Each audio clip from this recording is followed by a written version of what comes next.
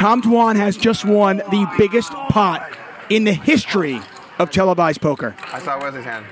I fold. I fold. Just I. I And Doug is watching because he knows what Wesley has, and Wesley has just five bet. It's 175 for Dwan to call. Again, we don't know what Dwan has. And there's the call from Dwan. 883, two diamonds out there. Wesley bets 125,000. There's the call from Dwan. Dwan with about 1.1 million behind. Turn a blank.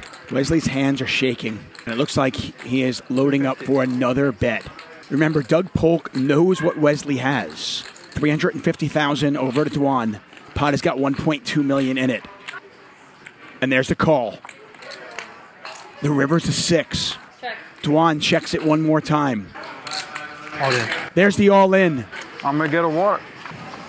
Pot has got 2.3 million in there. What the fuck? This is a weird fucking hand.